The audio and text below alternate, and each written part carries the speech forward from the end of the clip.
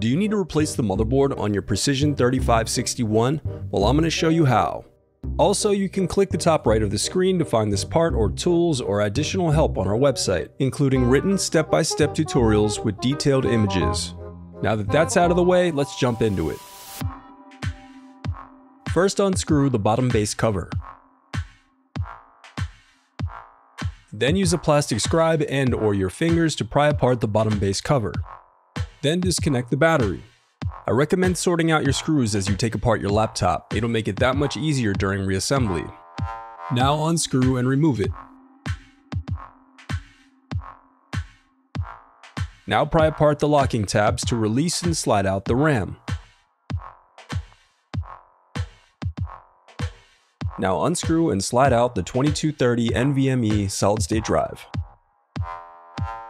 Then unscrew and slide out the 2280 NVMe SSD. If your model has discrete graphics, your heatsink will have 6 captive screws that need to be loosened. And if your model uses UMA graphics, it will have 4 of these screws. Now unscrew and disconnect the cooling fan to remove the assembly.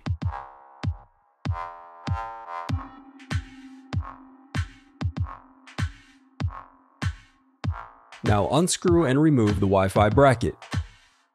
Then disconnect the antenna cables and slide out the Wi-Fi card. Next, unscrew the LCD bracket and disconnect the LCD cable. Now unclip the locking tab and disconnect the remaining LCD cables.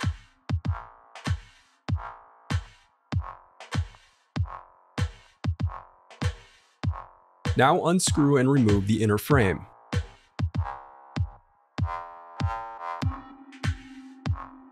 And then disconnect the speakers. Then disconnect the CMOS battery. Next, unclip the locking tabs and disconnect the motherboard cables.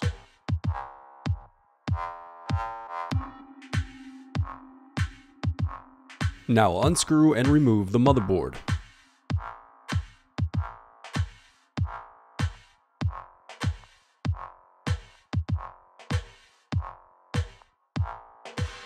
The reassembly.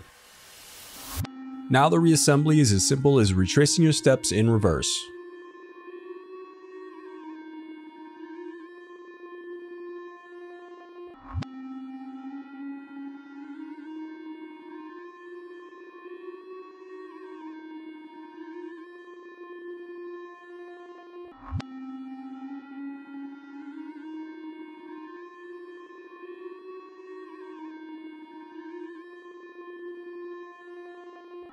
Now remember, before replacing the heatsink, I would recommend wiping off the old thermal paste.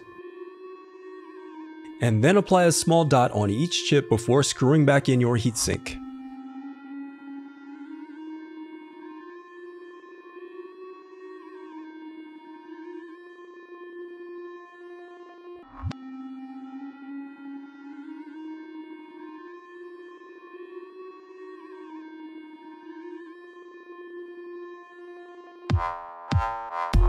If you still need help, you can visit partspeople.com and view printable DIY instructions to help you along the way. We also have playlists of thousands of Dell tutorials for hundreds of different models, so keep checking back. Thanks for watching.